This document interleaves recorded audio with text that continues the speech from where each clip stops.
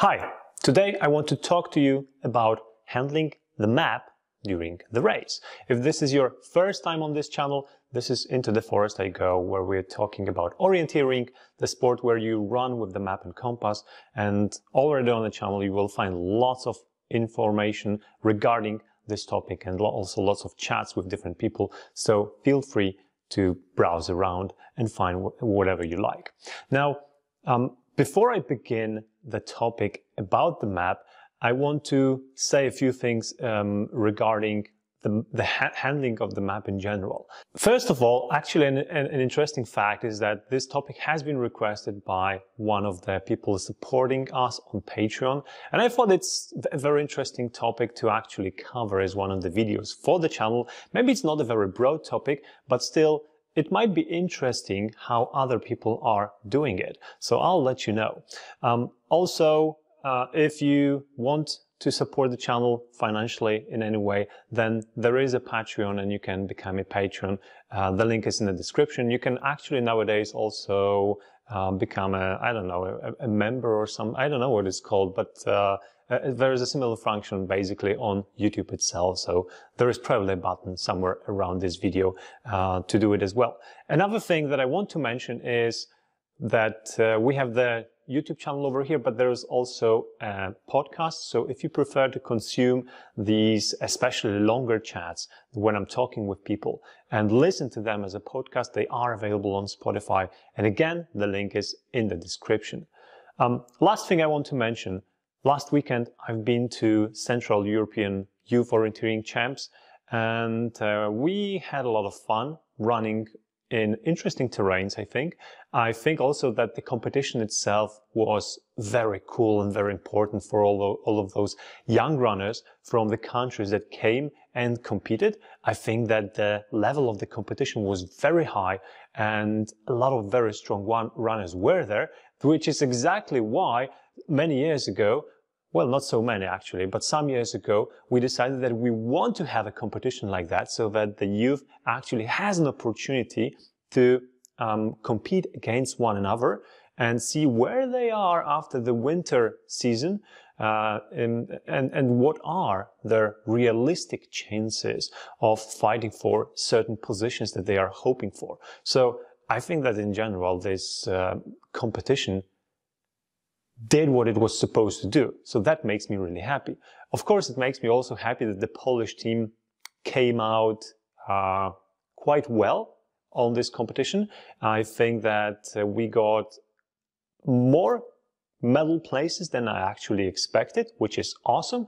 And as always, unfortunately, we are still showing that we are stronger on on those sprint distances than forest distances. This has always been our bane. And I'm, you know, really trying hard and, and pushing hard to fix this and make the people, make, make the, our youth better in running not only on the hard surface, but also through the forest, through those difficult maps.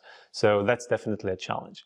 Um, I also really enjoyed that some people came and said hi and um, wanted to, to, take a photo and chat a little bit about the channel. That's really awesome. Don't be shy uh, about doing this. I, it always makes me happy and I, I, I'm always very grateful to see people that enjoy the work that I'm doing over here because it also gives me a purpose, so to say. All right, now back to the map. So I think that this was fated to happen, you know, me talking about this topic, because actually before I got a request to say something about it, to record a video about it, I was actually thinking about it on Saturday, I want to say. Yes, it was on Saturday. On Saturday after the long distance race. So we had relays on Friday. On Saturday, we had a long distance. The long distance was awesome, by the way. You should definitely check it out. I think the course setter did a, an amazing job and courses were wonderful. And the long legs were really tricky. And uh, they, they, they definitely posed a challenge when it came to picking the right route choices. But I'm actually going to show you what I did when I was going to my second control. So the first control was quite easy. Uh, I'm basically navigating through some bushes, finding the control quite easily, and then the long leg, I immediately see that I want to go from the right side. I want to attack it from the right side, not from the left side. But the challenge is going out of the green. And as you can see, I am not doing it very well. I'm actually trying to find the path, but I don't spot the entrance to the path. And in the end, I decide to go to the top of the hill, go next to the tower, and then follow the roads. And everything is going quite well. Um, maybe I should cross here instead of going along the road so much. But that's def definitely not a big problem on this leg. The problem is though, that while I was going to number two, suddenly I thought that instead of number two, I'm going to number nine. Of course, I didn't see number nine. I just saw the leg which was, which was parallel and I kind of switched from left leg to the right leg. And I, in my head, I started to navigate straight to control number nine instead of control number two. And I got pretty far. I got pretty far. So only here when I was already at the top of the hill, I realized while checking the control description that I'm, uh, the, the, control description doesn't say rock, doesn't say stone. It says uh, a thickening. And I can see definitely a stone or a rock on the map. So that made my uh, red light bulb to, to shine. And suddenly I realized, oh crap, I'm going to the wrong control. So you can see that I'm immediately, immediately correcting the direction, but the damage is done. I already went too far. So some time has already been lost over here. And this, this was one of the two mistakes I did on, on this course. The other one was actually connected with the wrong interpretation of the map. I was, I'm, I'm quite sure that uh, uh, at some part of the climb that I did to, to one of the controls, there was a very visible flattening, which was not visible on the map, and it confused me a lot. Uh, anyway, that's that's not important.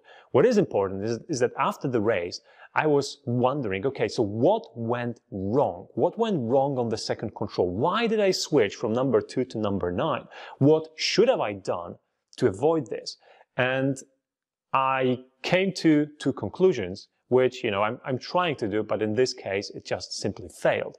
So the first one is if I would have folded the map properly, I probably wouldn't be tempted even to go to number nine.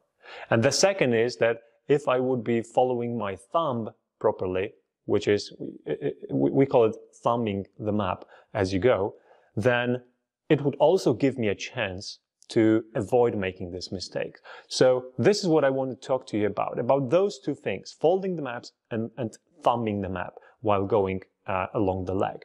So let's talk about the first part, folding the map. So this is the map from this, this race.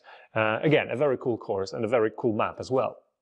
So as you can see, I don't know if you can see, but it has been folded in several different places. I mean, along this line, I can see at least three different folds and along this line, I can see one, two, three, four different folds. So I definitely have been working with the map and, and folding it in several different ways.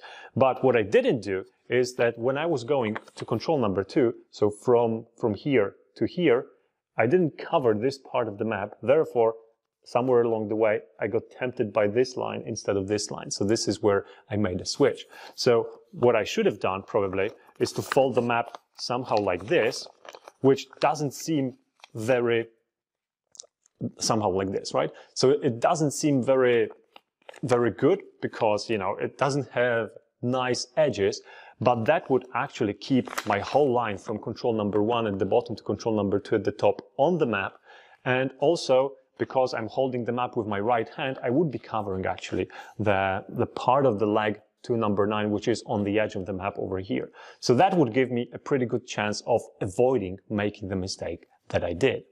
And in general, I think that when you're thinking about navigating the course and folding the map, uh, you should always try to keep the map as small as possible so that it's, uh, it's actually easy to thumb your course. So what does it mean to thumb the course? Well, when I say thumb the course, I mean that I'm following a part of a, a part of the course. And as I go, I'm moving my thumb over here to be right next to the features that I'm in the terrain next to, right? So I hope it makes sense. So, you know, if I'm, if I'm approaching this juncture, juncture over here, I will keep my thumb over here. So that whenever I'm running and looking around and then I want to control the map, I know that the place where I have to focus my eyes on is right next to my thumb. That's the idea, basically. So then you're moving the thumb to the next feature, you're moving your thumb to the next feature, and again, you can go, go, go, and look at the map, and you immediately know where to focus your gaze on. So this is what thumbing does. And you can very clearly see that if I have the map unfolded like this, and I have to reach the line between one and two over here, it's hard for me because my thumb doesn't reach that far, right? So that's why I, tr I try to avoid of having too much edge on the right side because this is where uh, my, hand is usually and, and how I'm holding the map. Um, and, but if you're holding the map in the left hand, you will be doing the same. You will be doing the same from the left side, right? So you want, you don't want this, this edge to be on the left side. So that's basically it. And I also noticed that, you know, I have this thing from the old days when the, the, the, the quality of, of maps was a lot worse. And we, um, by, by folding the map too many times, you were actually risking to damage the map and you know some part of the map would uh, be unreadable invisible and that happened several times so i think i still have this from the old days when i when i try to avoid folding the map too many times especially along uh, the same edges but I think it's wrong. I think it's wrong because nowadays the maps are printed very, very well and the quality is good. And I don't think you should be worried about that. So all in all, um, fold the map as, uh, as neatly as you can, of course. Keep the controls that you're going to on the map, definitely. Keep the next control that you will be going to on the map so that you can plan ahead, definitely. Um, and also remember that if there is a long lag that is coming and you know that it's coming, sometimes you will need to unfold the map during the race, take a look at it while running and then fold it back again, right? So that's unfortunately how it is, but you know, it doesn't take a long, a long time to fold the map. And as long as you can do it uh, while running, it's all good.